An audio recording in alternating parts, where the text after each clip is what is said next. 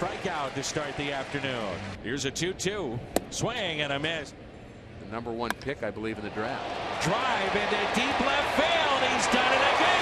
Wainwright, a long home run. Curveball and a strikeout. Fastball and struck him out. Gonzalez is swinging a miss.